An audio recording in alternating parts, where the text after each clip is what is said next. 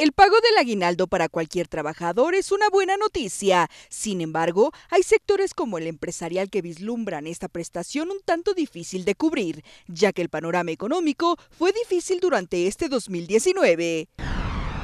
Preferimos recortar otro tipo de gastos, preferimos tomar las reservas que tenemos para cualquier otra cosa, sobre todo para el inicio de, del siguiente año, que siempre es un primer trimestre muy pesado y, solemos tener una reserva para lo que, lo que se ofrezca, bueno, pues de ahí hay que echar mano, o de créditos, o de algunas cosas que puedan ayudar, ¿no? El sector de la construcción, venta de autos y agropecuario serán los que mayor complicación tendrán para pagar antes del 20 de diciembre dicha prestación.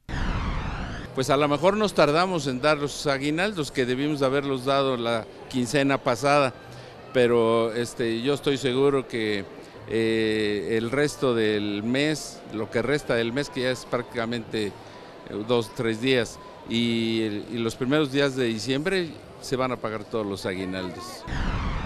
Los trabajadores, principalmente del sector de la construcción, han llegado a acuerdo con los patrones para que se extienda por lo menos una semana la entrega de su dinero. Ellos viven el hecho de que a los, a los empresarios nos tardan los pagos y al final de cuentas siempre procuramos que por lo menos una semana antes de las fiestas navideñas ellos puedan contar con, sus, con su recurso. El sector empresarial vislumbra un 2020 complicado, especialmente de enero a marzo. Por ello, comentan, ya preparan ciertas estrategias para hacerle frente a la famosa cuesta de enero. Con imágenes de Ramses Mercado para Mega Noticias, Claudia Rodríguez.